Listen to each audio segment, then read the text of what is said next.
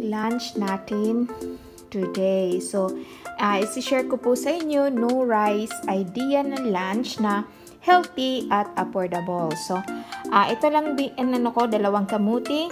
And ito na maging rice natin. And of course, meron akong sinigang. Ayan.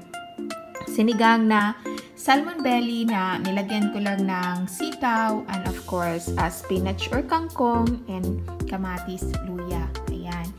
And of course, ang ating ano, salmon belly. Pero hindi natin ito ubis, uubusin kasi ang iba gagamitin pa natin para bukas na magugulay na naman tayo. Ayan. So, ito lang po yung lunch natin today. So, I hope you enjoy mga best friend. Ayan. Thank you. Daghang salamat o mga